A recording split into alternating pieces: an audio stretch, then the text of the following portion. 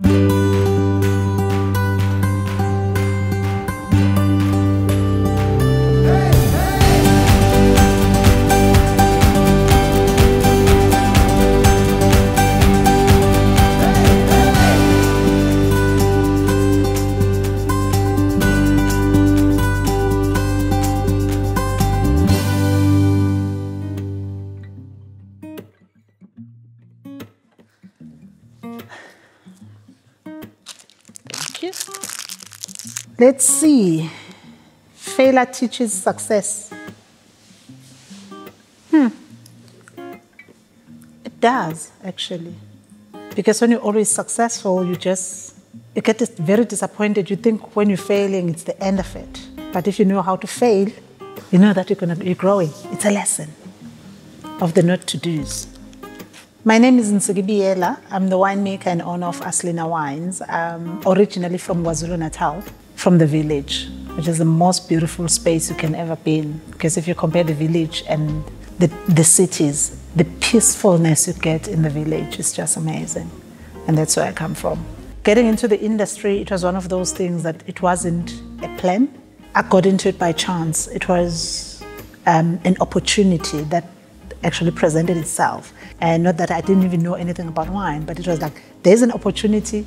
And I was like, oh, well, it's going to change my life. And I did it. Through all the struggles, obviously, that I found in the industry, and also that difference in terms of culture, in terms of the place, in terms of people, it, it helped me to, to grow and I managed to navigate um, the space.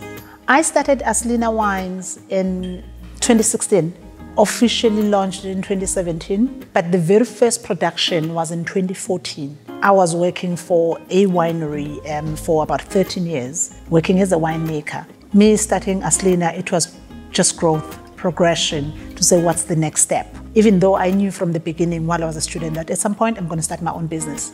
And the reason the company was named Aslina was because of my most amazing, strong woman, my grandmother.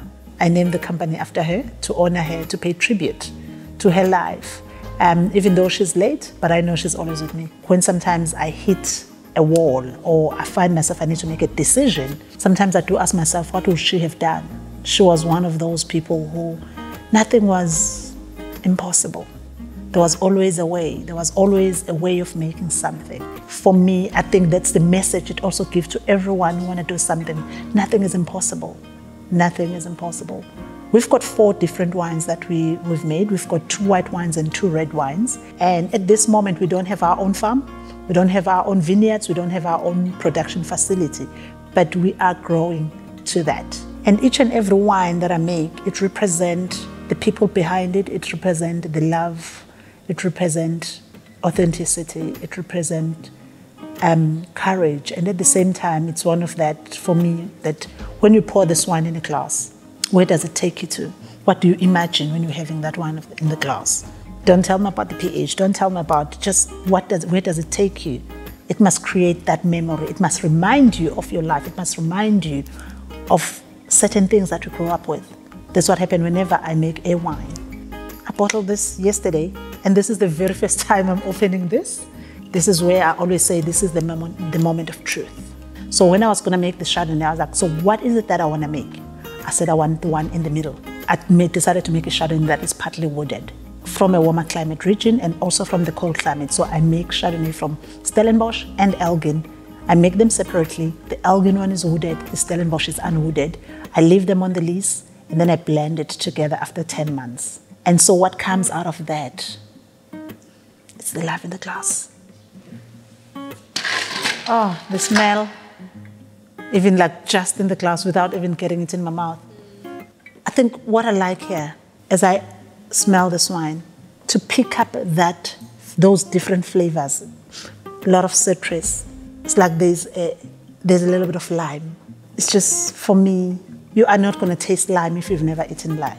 So I might pick up something here, and you're to smell it, and you associate it with something else. So you're going to pick up something that you know. It's going to remind you of things that you know and things that you enjoy. It, it gets on your palate. It stays. It's it's not heavy. It's it. There's a crispiness, but at the same time, it's rich. That balance for me, it's because there's so much going on on the palate. There is just so much. The richness of the wine, for me, it's just it's outstanding. The next wine that we have is a Cabernet Sauvignon. Again, looking at the labels of my wine, for me, it was the key to make sure that I connect with my my background. I connect with where I come from. And so I made sure that the logo, besides naming my company after my grandmother, but also the logo represents that.